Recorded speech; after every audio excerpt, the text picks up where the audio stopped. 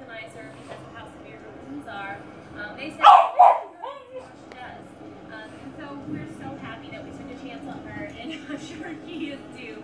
So thank you guys so much for your support. Thanks for watching our videos, and we'll see you next time.